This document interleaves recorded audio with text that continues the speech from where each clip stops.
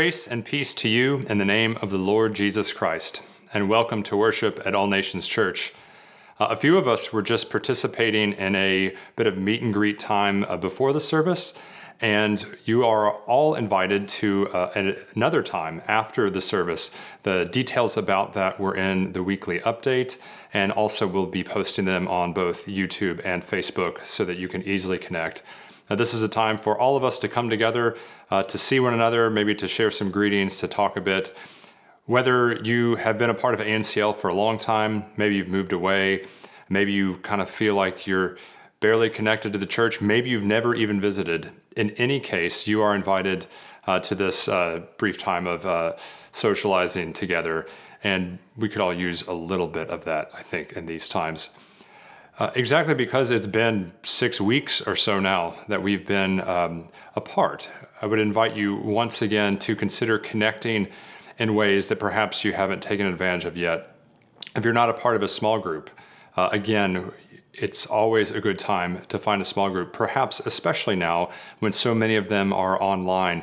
It's in a way more convenient than ever and easier than ever to participate. Uh, so please uh, visit our website for more information. Also, I uh, want to let you know uh, again about all the podcasts that are happening. There's a lot of great content, interviews, um, original thoughts that we're sharing, uh, services, and uh, sermons. It's a great way to be connected and to, to learn and be enriched in this time. And also, if you have prayer requests, uh, if you are in need, uh, if you just have something you want to share, we would really like to hear that. So please remember that you are part of a community and we want to be community to you. Uh, later in the service, we will hear the familiar passage, uh, Psalm 23, which speaks of the Lord as our shepherd. And as we begin our worship, hear these words from Isaiah. Uh, Isaiah is a, a book which uh, speaks of us as lost sheep who have gone astray, but also of the Lord as the shepherd who leads us.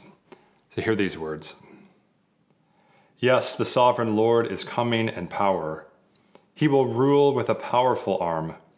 See, he brings his reward with him as he comes.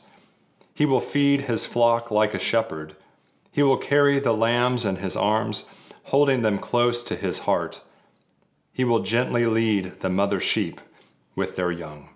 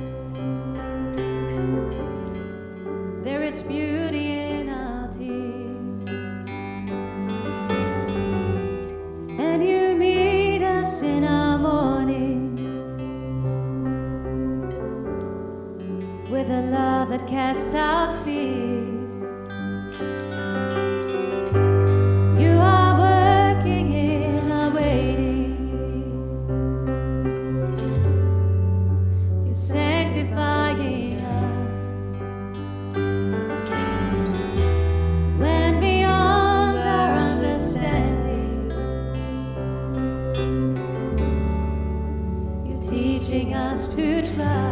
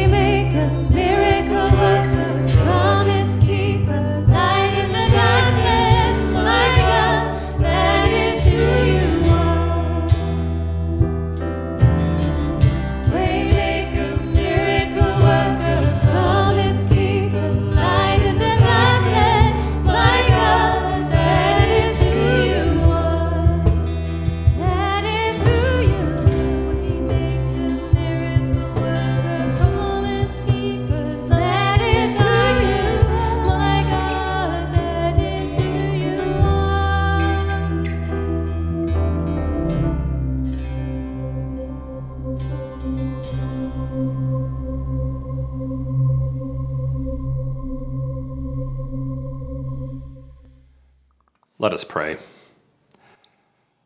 Lord God, we thank you that you are indeed our good shepherd. And we confess that we are so often like lost sheep, that even though you have come after us, sought us, found us, claimed us as your own, and brought us into your fold, that we often wander away. We do this deliberately at times, aware that we are wandering off apart from your fold. At other times, we do it carelessly, not even aware that we're wandering off. Lord, in any case, we confess to you that it is in our nature to walk away, to get distracted, to seek other things. And we pray that you forgive us. And we thank you that you are not a shepherd that comes after us once but then leaves us on our own, but who continually seeks us and finds us over and over again. That you desire to be with us. We thank you that that's the God that you are. And in this time, uh, especially as we hear the words of Psalm 23, it feels as if some of us are indeed walking beside uh, still waters, beside the stream with green pastures. Life is good.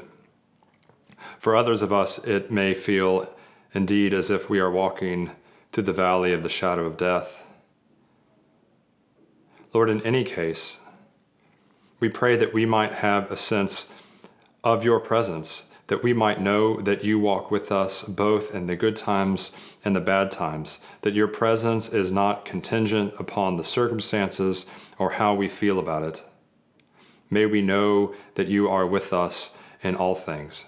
And so, if we are doing well, help us to remember that we're not doing well because of ourselves, but because of the ways that you bless us and all things, that this is a gift and for those of us who are struggling, and for those all around uh, our community, uh, our country, and the world who are walking in darkness in this time, Lord, we pray for them especially the knowledge, the awareness that you are with them, no less than at any other time.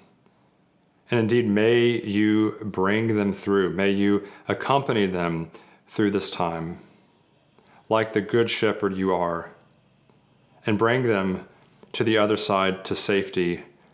Carry them in your arms, we pray. Through Christ our Lord, who seeks us and finds us. Amen. We now come to a time of giving. And first, we should say thank you that so many have continued to give in these uncertain times it makes our ministry possible. So thank you for continuing to give. And for those of you who perhaps have felt like uh, in these uncertain times you're not able to give as much, that's okay too. We understand. But if you are able to give, we would invite you to do so, maybe if you haven't before, uh, to set up a, a standing order. But particularly right now, we would invite you to give over and above what you might normally give to the Benevolent Fund. This is the fund out of which uh, we are able to help people who are in need, uh, all kinds of needs that come to us. Uh, that fund is, is getting a bit low uh, because we have helped a lot of people this year. We give money from the general budget to that fund every year, but we also seek to replenish it through individual gifts. So if you uh, would like to make such a gift, we would invite you to do so. And this will directly help people in our community who are in need. Thank you.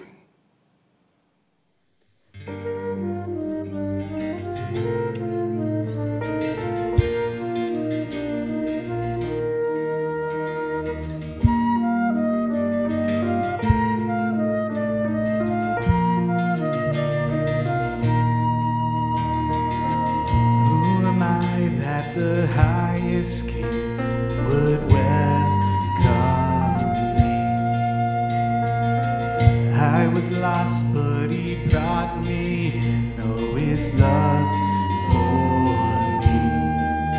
Oh, his love for me. Who the Son.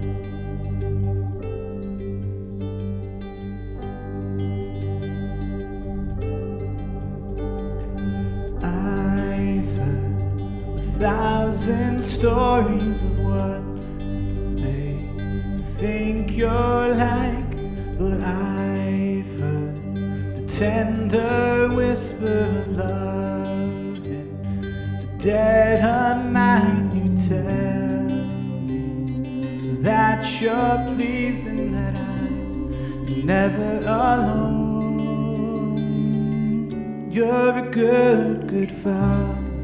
To you I, to you I, to you I, and I'm loved by you. It's who I am, it's who I am, it's who I am. I've seen many searching for answers far.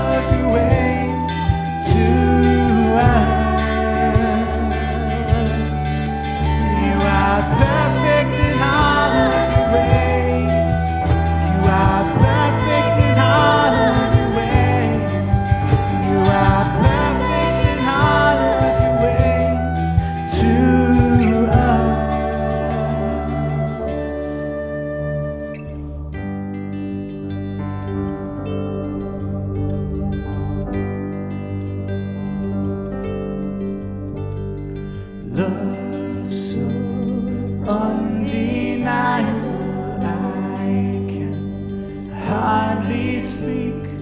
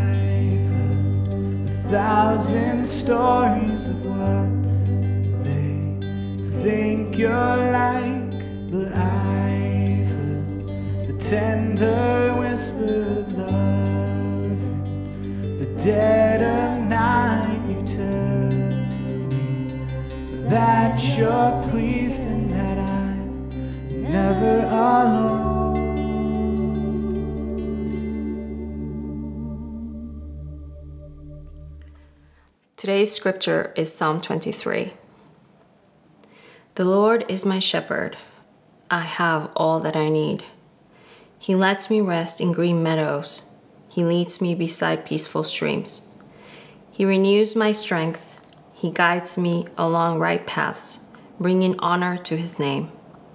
Even when I walk through the darkest valley, I will not be afraid, for you are close beside me. Your rod and your staff protect and comfort me.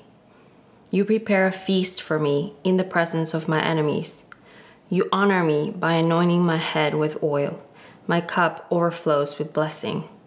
Surely your goodness and unfailing love will pursue me all the days of my life, and I will live in the house of the Lord forever. This is the word of the Lord. Over the last month, I think I've heard more about um, the idea of comfort food than I've heard for a long time. And it reminds me that in times that are stressful, uh, difficult, where there's fear, that often we are hungry uh, for comfort.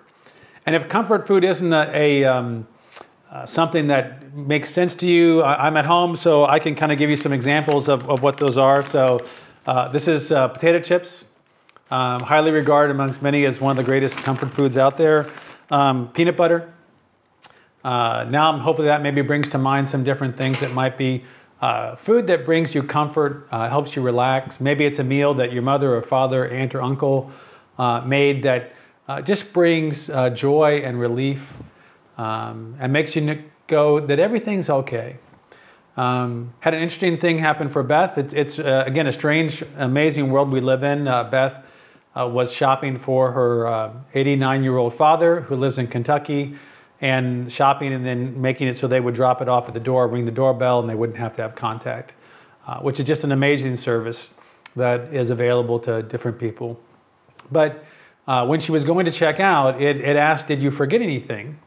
And it gave you some different options like potato chips or cookies or sugary drinks. There was nothing healthy in the options they gave you because they know that if you see broccoli, you probably will say, No, thank you, I don't want that. But if you see cookies, because those are comfort food and because of the sugar content and flour and all those things, that your mind's going to say, I need to have that. And so I thought today I would offer you some comfort food, some comfort food for your soul.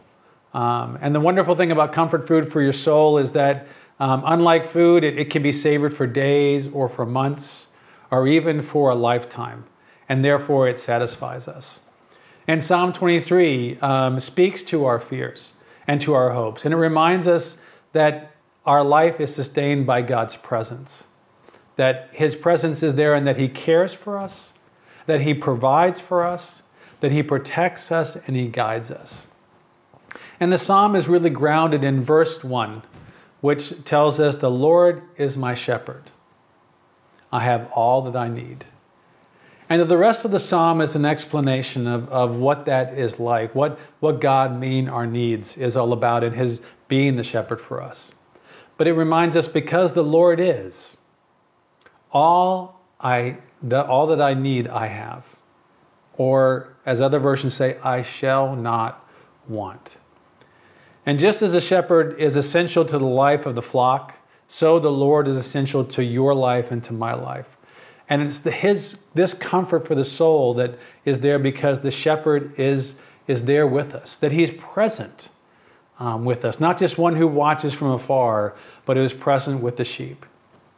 And first, he's present in this psalm, you can see with the sheep, in that he provides for them. He provides rest for the sheep, he provides them a place to lie down, to rest, to be calm, to be safe. He also provides food for the sheep, green pastures where they can eat and they can be nourished and they can have all that they need physically in terms of their food. And that He also provides for them a life and refreshment, still waters. Those waters are life giving, but they're also, they help to restore the, life of the sheep, like a good drink of water uh, provides for us on a hot summer's day. But not just, He doesn't just provide for us, but He also guides us through life.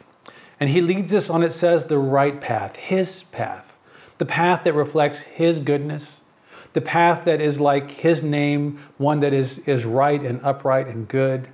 Um, and it reminds us in this passage that every path that we go on in life is the path that God leads us on, even to the dark valley, even in the valley where we are near to death. That is his path as well. And it tells us he's not in front of us, He's not behind us, but He is right by our side, next to us, alongside you and me as we walk through the deepest, darkest, and most difficult days of our life. And that reality brings comfort to us. So even when in my nature or in your nature we feel like we have a right to be fearful, we are reminded that we don't have to fear because He is next to us and his rod, which is there to fight off the enemies, and his shepherd staff, which is there to guide and direct us, tells us that we don't have to fear. That someone else is leading and guiding and taking care of us. That the shepherd is here, and the shepherd will provide what you and what I need in this time. There's probably no better all encompassing, intimate image of God in the Old Testament than this image of the shepherd and the sheep. And it's not really until you get to Jesus when he talks about the God as Father that you have a better image, a more beautiful image, a more image that reflects more perfectly who God is to us. And the reality is there's a lot of fear in our life, isn't there? If we walk through life alone. There's a lot of fears we can have right now if we believe that it's all on us that it's all up to our ability, all up to our strength, all up to our insight to be able to find our way through, and that's all there is, then certainly we have good reasons to fear because our limitations are great. But that's not all there is. We are his sheep. The Lord is our shepherd. And in him, he promises that we will have all that we need for life. My friend, that's comfort food for your soul. And it meets us when in whatever situation we find ourselves in. Because the Lord is, I have all that I need. You have all that you need. And I want you to think for a moment about your needs and your wants. Maybe the things that you've thought about this week that have caused you to fear, uh, or maybe this month, uh, your needs and your wants. And I want you to take a moment in your head, or maybe even better, if you're willing to, to say out loud what those are, what your needs and wants were, what you have been afraid of. And I want to give you just a moment to do that.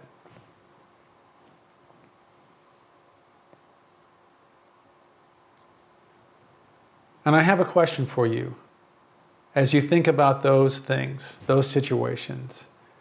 Which of these that I'm about to share with you meets that need, that fear, such that you can lay it aside? Is it that the Lord provides? Is it that the Lord protects? Is it that the Lord guides? Is it that the Lord cares? Is it that the Lord heals? Protects, guides, provides, cares, or heals. Which one of those words resonate to your soul? Allows you to relax, find peace again. And so, what I want to encourage you to do is to apply that right now to your life. And say, that because the Lord is my shepherd who provides, I don't have to be afraid of my work situation because the Lord is the one who guides, I know that I can lead my kids through this in a way that we can learn and grow closer together. I don't need to fear. And I'd encourage you to take each of your fears and to do that. Because the Lord is my shepherd who provides or protects or cares or heals. I don't need to fear what I'm fearing. And as your heart is freed from that fear or that anxiety or that want that God promises to meet, that need that you have, then I would encourage you to turn that from with a freed heart for prayer towards others. As you walk around and see others, maybe in your family, in your neighborhood, who you see are, are fearful, to pray for them, that they would too encounter the shepherd. They would meet what he has to offer them and that they would find that He meets all their needs, all of their wants. In verse 5, the psalm takes a shift in a more personal direction, and it goes from talking about He, the Lord, and it talks about you. And it's a more intimate um, drawing in of us into the next kind of image that, that God provides for us to see how He shepherds and cares for us. And the idea actually of the shepherd and the sheep starts to fade away in verse 5 to the end of the psalm. And we find ourselves as God's human guests at his victory celebration, with our enemies presumably now captured, disarmed, watching us as we celebrate God's victory over them. And the psalmist probably had in mind people that he had known, people that he knew were against him, enemies of, of the nation um, that he was a part of. But I think we can add not just our list of who we might see as enemies, things that we fear, but we can also add the list of this virus. Is that one day we will stand and celebrate. And this virus and many of the other things that have been uh, against us in this life will be watching as we celebrate God's love, God's provision, God's care at His table. And I find this image even more powerful when you put it together with the resurrection of Jesus Christ. That we celebrate each Easter and beyond because Easter is about God's victory and about restoration and about the Lord guiding Jesus and us through the valley of death and even death itself to everlasting life. So we are reminded that we are His guests at His celebration And we're not just there as a once in a lifetime opportunity that we get to take advantage of today or in this moment, but the day after day, we are participants at the Lord's table, at His celebration. And we eat together, and that eating together, that sharing the meal, has the idea of, of a mutual loyalty that we are loyal to Him and that He is loyal to us. You and I are guests in the Lord's house, celebrating His victory forever and ever because of Jesus Christ. Our heads are anointed with oil. Our cups overflow, and blessings surround us in every direction. And we live with the assurance that the Lord's goodness and his unfailing love pursues us all the days of our life. And that we, in the future, will dwell in his house forever. I want you to capture that idea that God's goodness and unfailing love pursues you, pursues me. Even when we run away, even when we ignore it, it will come around to the other side and say, I'm here. Don't ignore me. God pursues us. And it's a beautiful reminder of why it is so good that we are not in charge, but God is the shepherd. I wonder about sheep. I wonder if they think that they're pretty smart. I wonder if they think that most of the time that they can do all the things that they need on their own provide, protect, and get to the right places. To be honest, I really don't know what sheep think, but I know about people. And I know that we do think that we can and oftentimes must do this ourselves, that we must provide and protect. We must get to where we're going on our own. And yet, life reminds us again and again, whether we're sheep or people, that that's not true. That they and we need a shepherd. And in a wonderful way, Psalm 23 reminds us that we already have one. And the psalm is comfort food to your soul and to my soul. It's what we need to hear and believe and know. Maybe you don't feel today. Maybe you're feeling great, fine, relaxed. But you and I will need to be reminded that the Lord is the shepherd, that we need a shepherd. And when we are looking, when we are in need, we'll know who to turn to. The Lord is our shepherd. Therefore, we have all that we need. Do you bow your heads with me as we pray? Father, we give you thanks for this wonderful comfort that this is who you are the shepherd, and that we are the sheep. And that you are there to guide and lead, and we are there to follow and to learn. And that we don't just have to look out for ourselves, but that you look out for and care for us. And not just us, but for many, many others. We give you thanks for that, and we pray that you would help us not to be foolish sheep who turn away, but we would be sheep who look to you who listen for you and who follow your voice as we hear it. We give you thanks for this comfort, which is far greater than any food that we could hope to eat, and any moment that we could hope to share with anyone else. And it lasts forever and ever. Amen.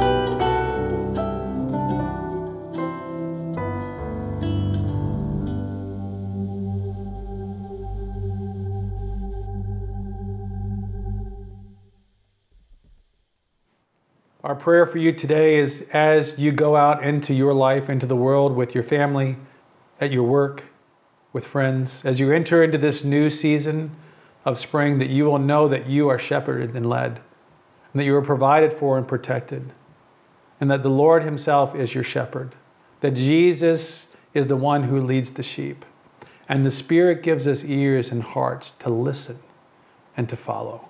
Go in that knowledge, go in hope, go with joy, go and celebrate. God bless you. Have a great week. Take care.